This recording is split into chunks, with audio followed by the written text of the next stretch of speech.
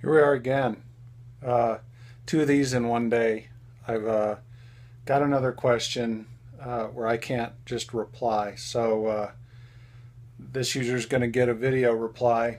And you know, within reason, this might be an interesting experiment to uh, to try this sort of ask me anything, whether it's photographic, other things. Um, if you want to ask me other questions, I'll try to do it in this short form video uh, kind of format uh, within reason. I'm just one guy.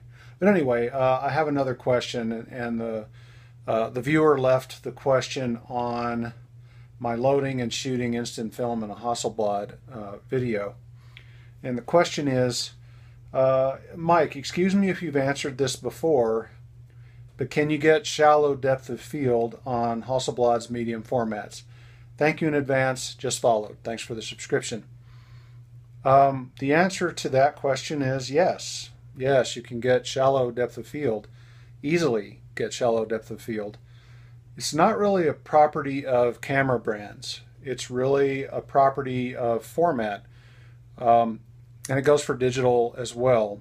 Um, this idea of being able to get shallow depth of field. The reason is because uh, as simply as I can put it, if you have bigger film, you have longer lenses uh, for the same angle of view. So let's just say you're just going to shoot normal angle of view, like what everybody thinks of as normal on 35 millimeter is, let's say 50 millimeter for the sake of argument. Um, so, but on medium format, uh, like on a Hasselblad, the sort of normal focal length on that is 80 millimeters. So you've got a longer lens.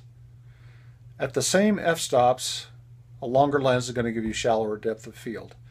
Um, but my theory is you get so much detail in medium format that when something's out of focus, it has a much larger impact. So um, on top of being able to fairly easily get shallow depth of field, you also uh, get this transition from super detailed to very creamy out of focus.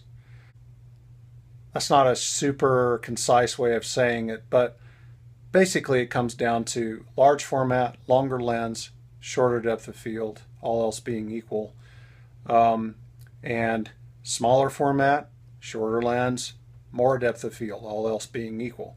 That's why, for example, if you use a compact digital camera, it's very difficult to get shallow depth of field because you're shooting usually a really short lens, like a 15 or 20 millimeter lens. So uh, there you have it. Yes, you can get shallow depth of field on a Hasselblad. Uh, I specifically have been shooting focal plane bodies for the last couple of years, and uh, the lenses for those bodies actually have larger maximum aperture than the um, 500 series. So right now, the camera I waved around the other day um, for the video on uh, unloading the back.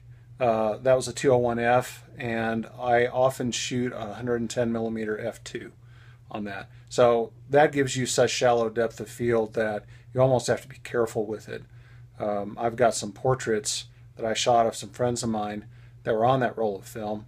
Uh, I'll post the links down below in the description, and you can look at them on Flickr and see just how shallow that depth of field is on those. So I uh, hope that answers your question, and thanks for asking, and I'll catch you later.